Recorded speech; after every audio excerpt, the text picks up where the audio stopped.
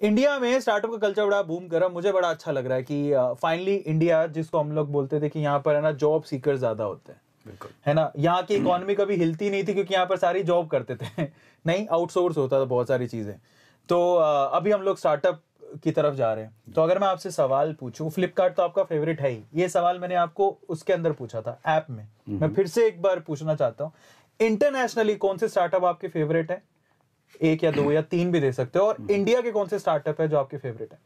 हम हिंदुस्तान की बात कर रहे हैं तो हाँ। मैं चाहूँगा इंडिया की ही स्टार्टअप्स की बात बताऊँ। मैं वही रिपीट करूँगा।